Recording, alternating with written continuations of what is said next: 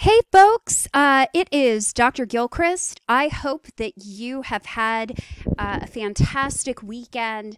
And uh, so now we're going to move on uh, in lecture 26 to talk a little bit about some of these non declarative types of memory. And we're also going to start talking about different types of uh, disorders and different types of injury that can end up disrupting uh, one's ability to learn and remember things. So, we're going to talk about some um, things like traumatic brain injury and other things that can damage the hippocampus as well as the amygdala. Um, one thing that I will mention ahead of time is there are some images um, of brains that can be a little bit unsettling. Um, I will give you a heads up on when those are coming. So if you would like to look away, you are more than welcome to do so. So, the last time that we were here, we were talking about a particular model of long term memory. And we were talking about the major distinction between declarative or explicit memory, which requires conscious retrieval, and um, non declarative or implicit memory. This does not require conscious retrieval. So, with declarative, you demonstrate that you have the memory by telling somebody about it. That can either be uh, an episodic memory for an event that happened uh, at a particular point in time, or we have our semantic memory, which are basically memory for facts. Um, for example, uh, what is the capital of Missouri? Um, what is two plus two? Um, what are the different colors that make up a rainbow? So, all of those are facts. Now, non declarative memory, uh, you demonstrate that you have formed a memory by doing something. So that can include things like skills, priming, which we'll talk more about today, uh, conditioning, and perceptual learning. Um, declarative is often dependent upon uh, relational learning and is very complex. Um, as I kind of talked about last time, some people do not actually believe that episodic memory and semantic memory are actually separate from each other. And these people believe that really the only thing that differs from episodic episodic memory versus semantic is that episodic memories still have a time based component. Um, at some point, if you retrieve an episodic memory enough, these particular researchers believe that it will basically become a semantic memory over time. So implicit is unconscious. Um, so we already kind of talked about um, the stimulus response learning and instrumental learning. So that operant conditioning that is uh, often involved in our memories for skills.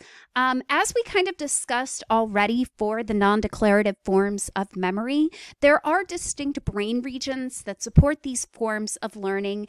Um, so different types of patients will exhibit different types of deficits. So, somebody with impaired perceptual learning for faces, like prosopagnosia, does not have impaired fear conditioning. So now we're going to talk a little bit about priming. Um, I'm going to show you some words uh, very, very briefly, and don't worry if you can't get them all. Just try to focus on whatever you can. Okay, so now the words were shown very quickly. Um, I'd like you to fill in uh, with the fill in these blanks with the first word that comes to mind. So I'll give you a minute to think of that word. Okay. Did you think of the word assassin? If you did think of the word assassin, odds are pretty good that you demonstrated some priming, and here's why. So here are the words that I briefly flashed upon the screen pyramid, Eskimo, aardvark, assassin, and umbrella. And again, these were presented so quickly that some of you may not have even had a conscious memory of actually seeing the word assassin. But some part of your brain unconsciously registers that. And that's what priming is. Basically, what we find is that if we're briefly shown something, uh, even if it's not something we can consciously see, um, it does have a tendency to influence what words or ideas are more likely to pop into our mind. Now we're going to talk very briefly about skill learning. So, op- so many of the different things that we've learned to do are in fact skills. So that includes things like driving a car, using a computer, um, recording a YouTube video. Um, so it's kind of hard. a lot of those skills are learned out in the world, and that sometimes makes them really difficult to study uh, within the context of a lab. So, one of the ways that we actually try to do this. Um, we give people a skill in the laboratory that they probably would not be doing out in the real world. This is a case where somebody has to trace a figure, but they only have the mirror image of the figure to help them. Now, generally, what we are going to find with people who are capable of learning new skills is that, at least initially, this task is going to be really, really difficult. But the more and the more that you do it, the easier the task becomes. You make less mistakes and you work more quickly. So these tasks are difficult at first and they require a lot of conscious processing. But over time, what we find is that they become very, very automatic. And this is one way that we can demonstrate whether or not people with different types of brain damage are capable of learning new skills. Other examples include things like driving, riding a bike, and so on. So now we're going to talk about uh, declarative memory. So we're going to talk about this uh, today and for a good majority of this week's lectures. We're going to talk about this type of memory and all of the different disorders that affect it. And this is typically the type we tend to think of when we think about our own memories. So again, some of the best evidence that we have for there being a dissociation between declarative and non declarative memory, um, or another way to call it explicit and implicit memory, is by looking at people uh, who have amnesia due to damage to the hippocampus. Um, as we are going to talk about for the rest of this lecture, the hippocampus is absolutely critical for explicit memory formation. So, what we can do, this is based off of data by Graf, Squire, and Mandler in 1984. So, we are looking at amnesics that have hippocampal damage. Uh, we have a control group. Oftentimes, these will be either people without brain damage or they will, pe- they will be people with uh, brain damage, just not to the hippocampus. So they basically gave these two different groups uh, different types of memory tasks. So uh, they did a task of free recall. Which tests explicit memory. So, free recall is basically if I asked you to recall, I gave you a list of words, and then I asked you to directly remember and recall um, the words I gave you in any order that you want. So, this is a case where you have to consciously go back to the list of words, search through the items, and basically note which ones you remembered.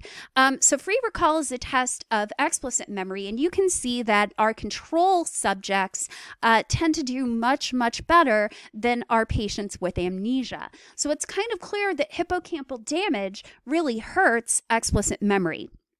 Um, now, on the other hand, maybe we do something like word stem completion. So, those fill in the blanks that I gave you when you had to fill in the word assassin in the blanks.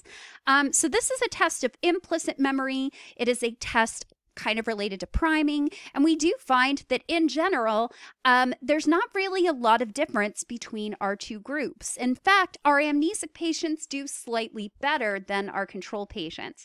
This is really only a difference of a little bit more than 10%. I don't know if that is uh, a significant difference. Um, I'd like to see error bars, but in general, I think this does a really good job of showing that the hippocampus is really critical for explicit memory, but for our non declarative memories like learning and conditioning and skills and priming, the hippocampus is not necessary. Um, so, by the way, one other thing that I will mention is that with the free recall, there is actually a delay of several minutes or more. If you give people a list of words um, that have hippocampal damage, um, what we'll typically find is if you ask them about the word list right away, they'll do a pretty good job. That's short term memory, and that isn't really affected when you damage the hippocampus. So the delay is really critical. If I test recall immediately, you may not actually see an impairment. So not only do we have a dissociation between explicit and implicit, we also have a dissociation between short term and long term memory. So it's kind of clear that the hippocampus seems to be really critical for explicit memory. Probably the best uh, known example of how the hippocampus can really damage your memory uh, is through research on HM. HM is the most uh, famous patient with memory loss. Um, we didn't really know that much about the hippocampus and its role in human memory at the time. Um, and so he actually had intractable epilepsy. And so, one of the ways that they used to actually treat this epilepsy when medicine or other methods really didn't work is they would basically cut away a part of the medial temporal lobe, including the hippocampus. And part of the reason they do this is that for a lot of people that have epilepsy, it's a very, very typical place where seizure activity starts. So the idea is that the seizures would start in the temporal lobes and then it would spread throughout the whole brain. Um, there's a really high concentration of glutamate in the medial temporal lobe. Remember that glutamate is very excitatory, and remember that too much excitation is really dangerous for your brain. So, this bilateral temporal lobectomy, so they basically removed both of his temporal lobes in the left and the right hemisphere. Um, generally, what they found is that it did actually cure HM's uh, epilepsy, but there were some really important deficits. First of all, um, HM displayed what we call anterograde amnesia. Um, what this means is that he was unable to form new long term memories. His short term memory was fine, his long term memory was impaired. Um, and he also had some retrograde amnesia. Um, so basically, ah, retrograde amnesia is when you lose memory for events that were basically leading up to the surgery. So he did have a little bit of retrograde amnesia. So maybe a couple of months before the surgery, he might have lost that time. But by and large, the biggest byproduct of this lobectomy was his loss of forming new memories. Now, this retrograde versus anterograde distinction is actually kind of controversial. Nobody actually disputes the anterograde loss, but some scientists do believe that the hippocampus is just as important for retrieving old memories. Now, what's interesting is that today's surgeries are still performed uh, for the treatment of epilepsy. The temporal lobe still is the most common site, but generally, uh, surgeons remove less tissue. They do better assessment of the damaged tissue. And additionally, there are more sophisticated options that can help stimulate the vagus. There are actually pacemakers that can stimulate the vagus nerve and enhance GABA activity to reduce that excitation medication uh, that can lead to seizure activity. So, one of the things that's kind of interesting is that generally we find that with more damage, um, more retrograde amnesia results because you are starting to affect regions where memories may actually already be stored. So, what we tend to find is that when you form a new memory, um, these memory traces in the brain actually begin to undergo a process called um, consolidation. Um, so, one of the things that we find is so here we have damage to CA1 of the hippocampus. You can see that there is a bit of uh, anterograde amnesia, but no retrograde.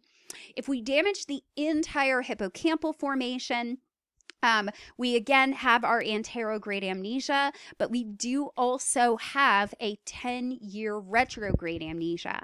If we have even more extensive damage to the hippocampus, again, we get anterograde amnesia. But if we also cut apart the temporal lobe, we have a 10 to 30 year retrograde amnesia. So this suggests that the hippocampus and the medial temporal lobe actually bind information um, together, information into events over a period of several years. So when you form a new memory, it is going to take years for that memory to actually have a permanent placement in the brain. It is not an immediate consolidation process. It may take several years for that memory to become so consolidated that it's in the cortex rather than in the medial temporal lobe. And that's what we find that the consolidation process actually does. If a memory trace is sufficiently consolidated in the brain, at some point it will no longer be in the medial temporal lobes. It will be in the cortex where it tends to be more safely stored. So, this is kind of part of the reason that um, Alzheimer's disease can be as distressing as it is, because initially in Alzheimer's disease, you see uh, anterograde memory problems. And that's because the first thing that happens is the medial temporal lobe starts to atrophy. At the point where uh, somebody with Alzheimer's is losing memories from their past and forgetting people in their lives, that's because the entire cortex itself is starting to atrophy atrophy, and that's where a majority of our permanent long term memories are stored.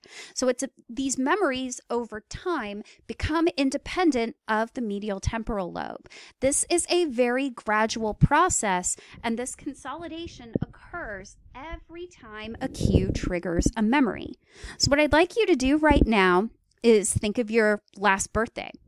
Okay, Great. I've just triggered you retrieving that memory. And because of that, it is now in your working memory. And because of that, because you've retrieved it, it is now going through another reconsolidation process to make that memory more permanent. So, when I talk about the medial temporal lobe, what do I mean? Well, here is what I mean. So, here you can see we've lost kind of part of uh, the hippocampus. Here, we've kind of lost uh, the medial temporal lobe entirely. Um, so let's talk about the differences. So the medial temporal lobe includes the following. It does include the hippocampus, so all of our CA fields, CA1 through CA4, the dentate gyrus, and the subicular complex. So all of the hippocampus um, and additional areas like the perirhinal cortex, the entorhinal cortex, the parahippocampal cortex, and the amygdala. So if we remove the t- medial temporal lobe, we are basically getting rid of all of those structures. Um, HM actually had both medial temporal lobes removed, more than is actually shown in this picture. And generally, a bilateral lobectomy is not performed if possible because of the massive memory loss that results. So here are the portions of tissue that were excised from HM's medial uh, temporal lobe. So both of these regions were completely removed from HM. So let's talk about what sort of things HM uh, presented with after this bilateral temporal lobectomy. Um, so, first of all, as I kind of mentioned, he had a very profound anterograde amnesia. He could not form new long term memories. But here's what's really critical this is only for explicit memories. So, episodic memories, so memories for events, and then semantic memory, memory for facts. So his anterograde amnesia would be true for uh, all kinds of new information like faces, words, events, things like that. Um, we did he did present with some moderate retrograde um, amnesia. Again, just as a reminder, this is only for explicit materials. So again, only for events in time, those episodic memories, and those semantic memories, those facts. His short term memory or working memory was intact. Uh, you could ask him a list, you could give him a list of words and then ask them to immediately repeat them back. Um, and he was fine with that. He was also an ex- excellent conversationalist. You need to have short term memory skills to be able to do that. His um, implicit memory was intact. He was able to learn new skills. Uh, he did have some learning and conditioning abilities. Um, he did engage in perceptual learning. He could learn to identify and detect faces and objects, very simple tasks. He wouldn't necessarily remember those faces, but he could look at a face and say, yeah, that's a phase. Um, and additionally, he did not actually have any intellectual impairments. His intelligence was measured um, by both verbal and reasoning tests, and that was fine. So, what have we learned as a result from this? Um, so, first of all, short term and long term memory are separate systems, and different parts of the brain are responsible for short term memory, and different parts are responsible for long term memory. Um, explicit memories, uh, both semantic and episodic, are not stored uh, in the medial temporal lobe. So the memories that he has already formed, he still had quite a few of those, um, despite some slight retrograde amnesia. So what this means is that if you've already formed a memory and consolidated it, it's not in the medial temporal lobe anymore. It's somewhere else. But if you want to form a new memory, the medial temporal lobe is critical for explicit learning. He had difficulty learning new, uh, learning about new events and new facts. Um, but it is not necessary for most implicit skill uh, most implicit learning like skills or perceptual learning so let's talk a little bit about some of the different ways that the medial temporal lobe can actually be damaged so you'll notice here that I'm using uh, the term focal damage. Focal means localized uh, to one very specific region, as opposed to diffuse damage, which you might experience more in things like traumatic brain injury or um, degenerative damage that spreads to other regions, like different types of dementia.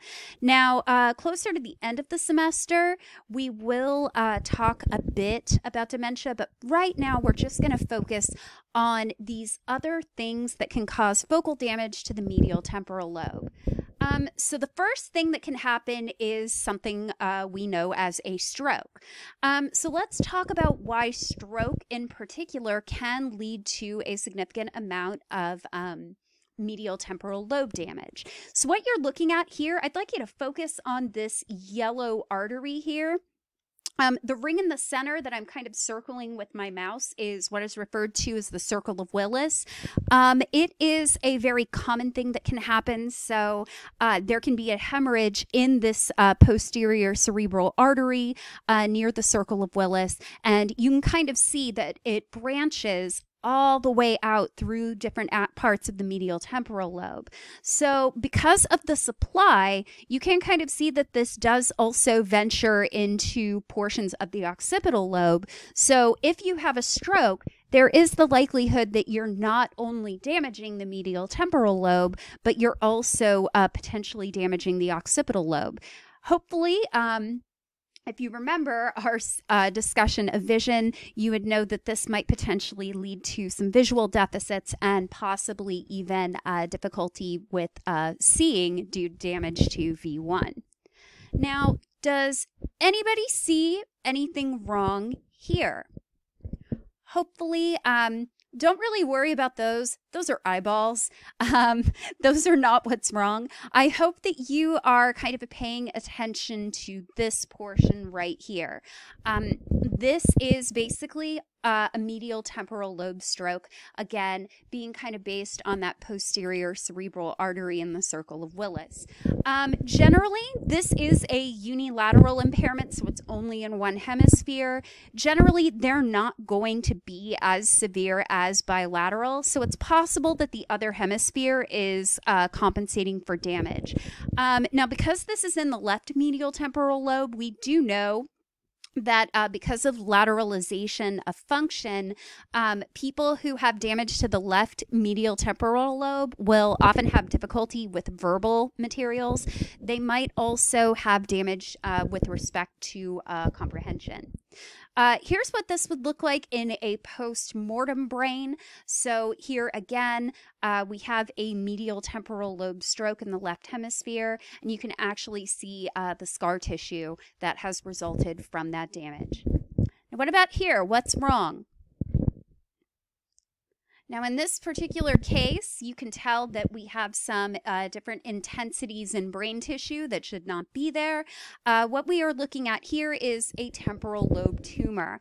Uh, somebody that has this type of tumor might present with headaches, um, and because the tumor is only on one side, the headaches are going to be ipsilateral in nature, so um, it's going to occur on the same side that the tumor resides on. There will possibly also be seizures. Now, the reason that we know that this is a tumor is because the tissue does not match the density of the medial temporal lobe. It also doesn't look like cerebrospinal fluid which is typically black. It definitely doesn't look like white matter, and it doesn't look like gray matter either.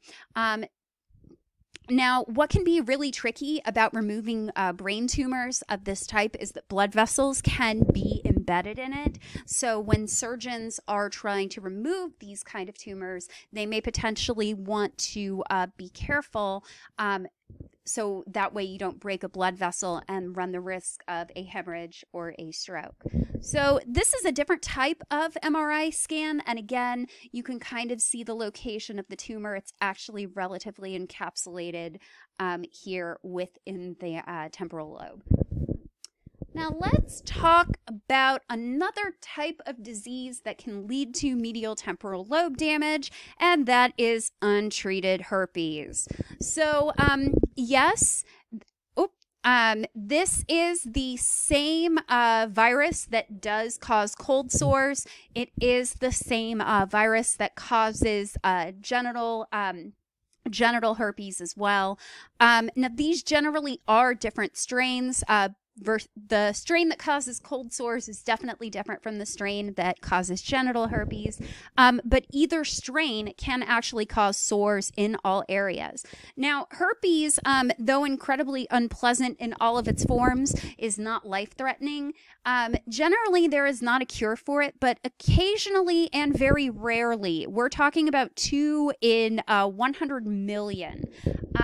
It can actually spread from the facial nerve or the olfactory nerve uh, to the temporal lobe of the brain, and it can cause what we term encephalitis. Uh, encephalitis can be pretty dangerous. That's because the brain basically becomes inflamed, and because the brain is inflamed and it doesn't really have much of an immune system to fight off a virus, uh, it will start to swell and run up against the bones of the skull.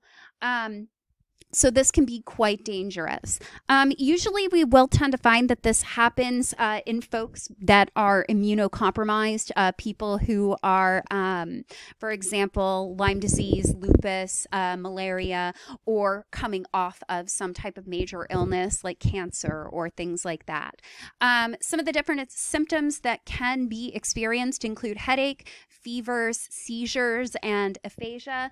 Um, the temporal lobe is highly susceptible to damage from encephalitis. It has a high concentration of NMDA receptors, and there can be, uh, because of those high concentrations of glutamate receptors, um, the cells can be so excited that they can potentially die. Um, this can lead to permanent damage, and it does potentially lead to death because of either stroke or a potential brain bleed. So here is an example of what this can look like. This is a case where somebody's uh, brain was inflamed and it did actually lead to a stroke. Uh, this is a case of a postmortem brain. You can actually see the areas where uh, damage to uh, the medial temporal lobes has occurred. Uh, you can see that the tissue is very atrophied and very, very weak. Um, now, here is another case. This is severe herpes encephalitis with global atrophy. Uh, this was an older adult. You can tell that we have global atrophy because the brain is very, very almost skeletal in its structure. So, this might also be presenting with uh, dementia in this case. And so, folks, that's all I really had. Um, we will talk more about some of the different ways that the medial temporal lobe can be damaged. I will see you very, very soon. Bye.